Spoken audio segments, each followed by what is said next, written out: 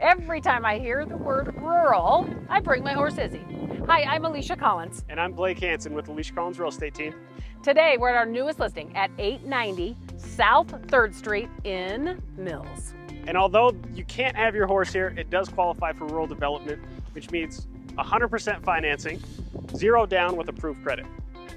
I can't wait to show you the inside and the outside of this house because it is truly kept up so well. Let's go look around. The kitchen is the heart of the home and it really is in this home because of this large open floor plan with vaulted ceilings, lots of counter space, custom wood shelving, and this island is included as well. Not only is there a living room open to the kitchen on the main level, but there is a huge living room downstairs. And obviously here's the dining room, but I also want to mention all of the upgraded lighting throughout the home. A hall bath and two bedrooms that have lots and lots of light.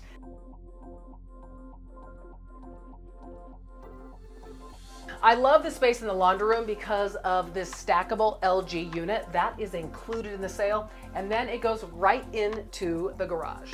One of my favorite things about this house is the room for expansion. You could put a bedroom and it also has a stub out for a bathroom. It'd be easy to finish this space as you would use it. And it's right off the living room. Isn't this an awesome backyard? It is. A fully fenced backyard, mature trees, automatic sprinkler system, and a shed. This house is not gonna last long. You can tell that they took amazing care of it and the outside has been painted in the last couple years. Remember, we want you to love where you live. See you soon.